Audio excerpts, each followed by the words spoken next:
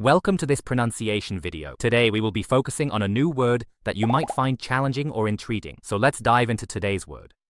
Fuaianto, which means Fireman in Japanese. let's say it all together. Fuaianto. Fuaianto. Fuaianto. One more time. Fuaianto. Fuaianto. Fuaianto. Thank you for joining us on this adventure in pronunciation. Remember, language is a journey, not a destination. Keep exploring, experimenting, and expanding your linguistic horizons. We'll see you next time.